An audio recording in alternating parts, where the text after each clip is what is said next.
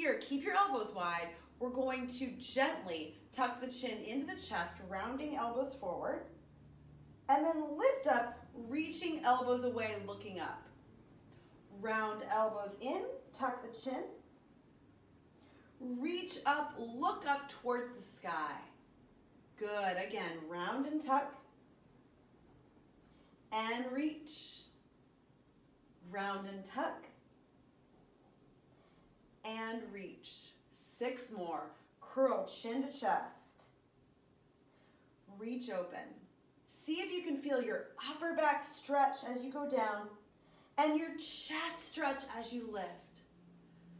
Inhale and exhale and inhale and exhale.